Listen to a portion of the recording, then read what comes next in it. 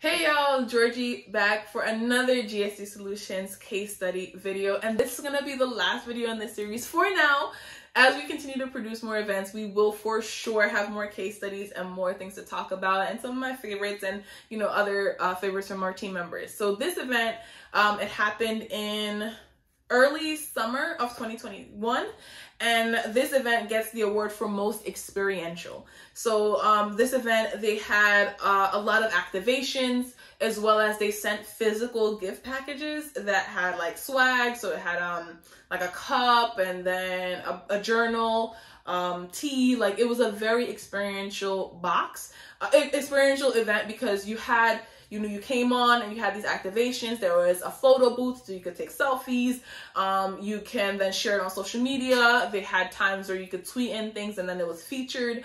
Um, part of the experience was in person where the staff like recorded some of the speakers live. Some of the speakers came in pre-recorded and some of the speakers came in fully digital. Um, then there was like networking, expo booths that you could meet with um, what is it called? Recruiters. You can meet with uh you can purchase swag um and then again the, the box um and there were like office hours a bunch of different speaker breakout sessions. So this event really showed how you can bring a convention a big conference to a virtual space and really have people engaged and excited and then sharing on social media and feeling good, right? That is the key to these experiential events. Um, everyone loves to have, you know, something coming in the mail. I know I love a good, you know, here's a package, here's some delivery. I love something in the mail that's not a bill.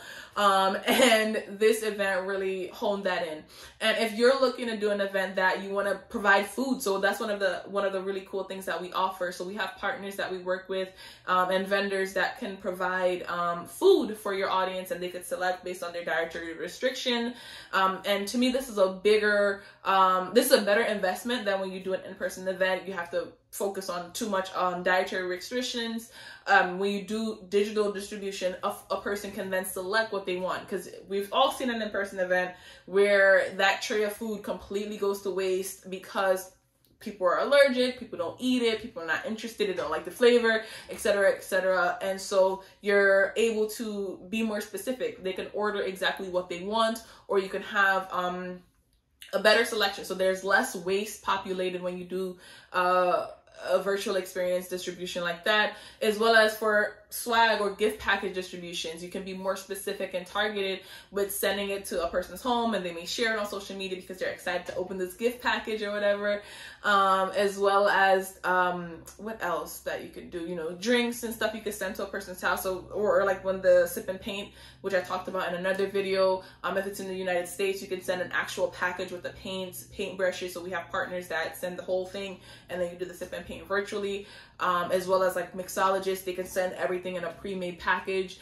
Um, and there's one partner that we work with and they do, what is it called? Like um, cooking, cooking um, experiences. And so they send all the, so think of like HelloFresh, but just like right when you're doing it on the event. So they send the pre-made the pre-packaged items, and then you all come on on the virtual event. And then there's a um, chef that will then instruct the audience of how to make the food, and they're all making it together. And it's like snap a shot. You know what the jars look like? What does it taste like? So you can get really experiential with these virtual events, and we have dozens of partners that we've worked with to achieve this success with our clients. So if you're looking to do a more experiential event, reach out to us. Again, we offer these free 20 minute consultations because because we know that you may have these grand ideas and you're not sure if it can be converted into a virtual experience. And I'm here to tell you that more than likely it can.